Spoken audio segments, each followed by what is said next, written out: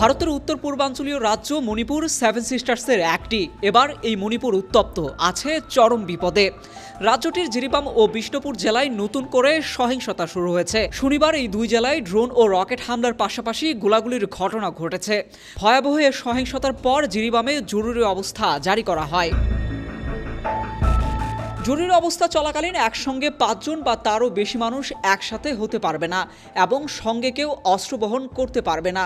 এছাড়া অনুমতি ছাড়া কেউ বাড়ির বাইরে বের হতে পারবে না বলেও নির্দেশনা দেওয়া হয়েছে।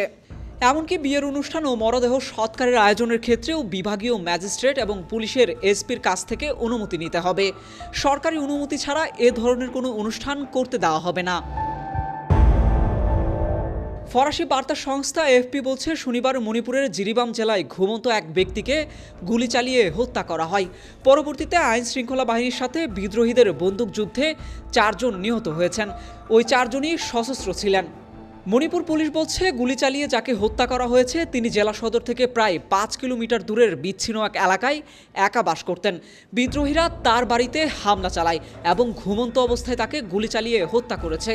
এই হত্যাকাণ্ডের পর মণিপুরের বিচ্ছিন্নবাদী সশস্ত্র গোষ্ঠীর সদস্যদের সাথে আইনশৃঙ্খলা বাহিনীর ব্যাপক গুলি বিনিময় হয়।